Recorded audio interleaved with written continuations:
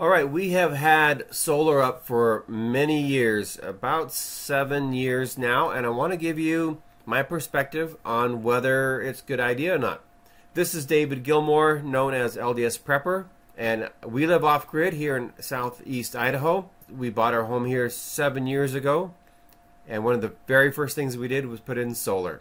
This is uh, originally was a 5.8 5.2 I'm sorry uh, kilowatt system. We've upgraded it to 16 kilowatts now. We did that at the beginning of this year. As you can see right now, it is the day before Thanksgiving here in 2021. It's late afternoon, about 4:30, so the sun is uh, down, or going down, and we are still selling to the grid. So what we have here at our home is what I call an off-grid grid tied system. What does that mean? Uh, it, what it means is that we have an off-grid system which has battery backup.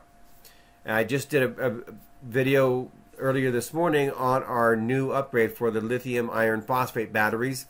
Please go to ldsprepper.com to uh, view that information. So I think that was a significant upgrade, and we're gl very glad to have done that, going from lead acid, which has been very reliable, to the lithium ion, which I think is the you know the latest technology.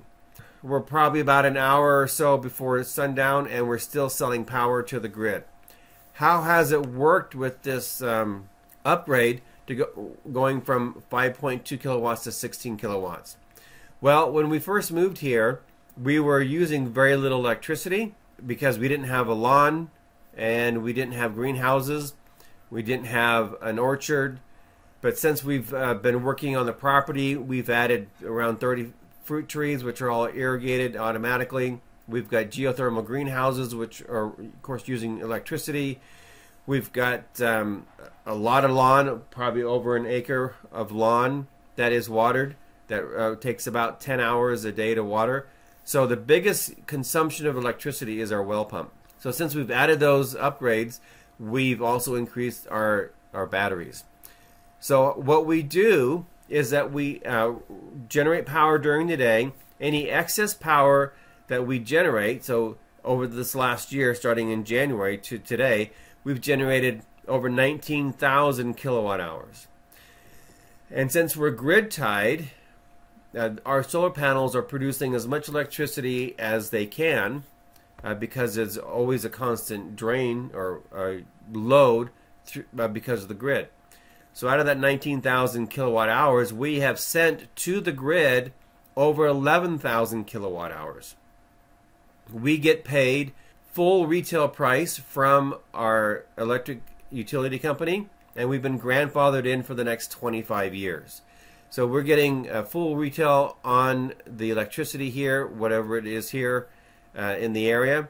And so we're making more than people who are recently getting into this. Now, during the evening, I don't want to wear down my batteries. So instead of cycling my batteries in my battery bank, we actually pull power from the grid. So we've sent over 11,000 kilowatt hours to the grid and we've pulled back about 6,500 kilowatt hours. So we're about twice as much power to the grid as we've taken from the grid. And you can see here, for example, in January this year, where we just got our system upgraded and back online. From the grid, we pulled 282 kilowatt hours, and to the grid, we sent 337 kilowatt hours. So even in January, we were actually sending more power to the grid than we were actually using, which is pretty amazing to me. Here in February, which was the only month out of the year that we actually did not send more power to the grid than, than we used. Uh, one reason why our batteries were in such good conditions is because we weren't cycling them constantly, running them when we had a load here on the property and we weren't producing electricity uh, because we were pulling electricity from the grid. So we're banking this power. So I can actually call or write to my uh, utility company and say, all right, go ahead and cash us out. And they would write us a check for the balance of the value of the electricity that we have sent them. But what we generally do is we just keep that balance there and we just use it to get us through maybe months that we have a greater demand than we have in production. Now, I just noticed over here in November right now, we're um, actually in a deficit with the grid. To the grid, we've sent 305 kilowatt hours, but we pulled 452 kilowatt hours. And so this is pretty normal in the winter months where we have lower sunlight days, lower UV power coming to the solar panels. And that's why we have we have it banked. Our battery bank is certainly large enough that we would never need to pull power from the grid. And with our battery upgrade right now, we could actually just turn that off and just run on our batteries with uh, 10,000 cycles, which will last us about 30 years. I still don't see a need for that. So we will still uh, pull from the grid during the evening. So my goal is to be self-sufficient, self-reliant, and to have power when there isn't power on the grid. We've done that, I think, very successfully, and you can see that here, right here on the chart. So would I do it again, and was it worth the money? Absolutely, I'd do it again, and absolutely, it has been worth the money.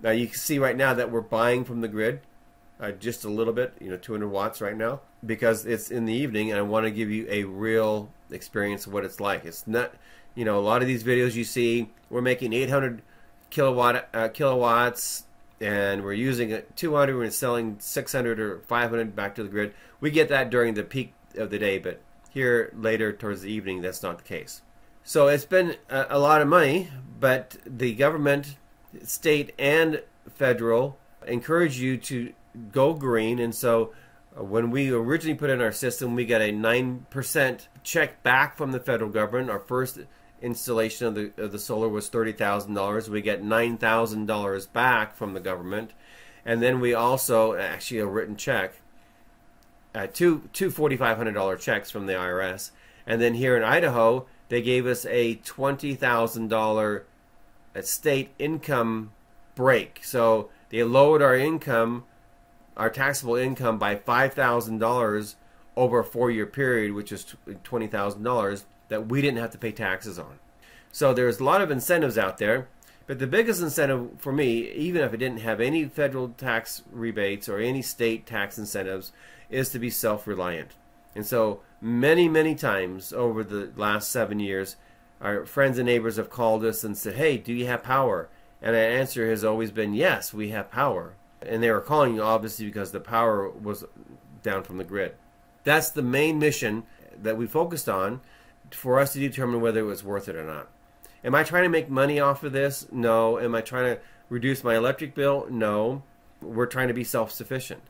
So most people who buy solar are trying to do one of the the other two, either make money from it from the utility company or to lower the utility bill. And so you have to determine whether the cost is effective for you. And in generally in those situations they don't have battery backups. They're grid tied in those situations, they typically are wanting to get those installed at the lowest cost. So they have inverters that only run when there's power from the grid. So when the grid goes down, their lights go out. They don't have any power. They don't have any battery bank backup. So when someone comes knocking on your door, or calling you, or you see a, a, an ad for you know save money uh, and get solar, you have to ask yourself what what is the mission. And if your mission is to save money and and uh, that works out for you, great. Uh, if your mission is to be off grid and be able to supply power to your property uh, when there is no power on the grid, that's great too. Just make sure that you get it configured to, to meet your mission. Now, every single person that I know who is truly off grid also has basically a second part to their off grid system, and that is always to have a petroleum power generator, whether it's the gasoline, propane, or natural gas. And we're no different here. We've got 2,000 gallons of propane buried and we uh, have a tri-fuel generator. So if our batteries run down for some reason, there isn't any light for three or four days, and, our, and we're running strictly off battery, and we can't generate any solar power, then we would plug in our tri-fuel generator, and we would, in a couple hours, recharge our entire battery bank and be back up and running for another three or four days on battery. That hasn't ever happened for us. That has never been a need, but uh, it's certainly there. And if we were completely off grid, uh, we might have done that with the uh, lead acid batteries, but I don't know that we need to do that, or ever will need to do that with the lithium iron. Time will tell.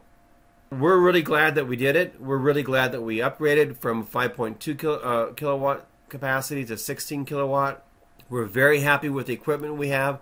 We have Outback inverters and charge controllers. We have the SimpliPhi 3.8 kilowatt batteries. In uh, we have 12 of those, so we have a 45 kilowatt system. As you can see here, I can monitor this live here on the, this application. As far as today, today being very close to the end of November, it was very cloudy this morning.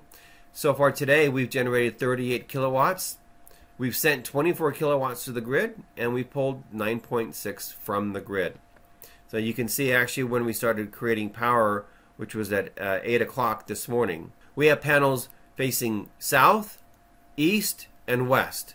So about a third of the system is divided between south, east, and west. I did that so we can get start generating power as early as possible in the winter and as late as possible in winter. And of course, the main panels are, are faced towards the south. I hope this helps you with your data collection and deciding whether to go solar. I'd like to know if you have solar, if you've gone off, if you've gone off grid, or if you're trying to reduce your electric power, whether you have batteries or not. You just comment below and let us, uh, let me know any questions you have or what your solar system looks like. This is LDS Prepper reminding you: if you are prepared, you shall not fear. And with a solar backup system, a permanent system like we have here, we're prepared for a dark winter.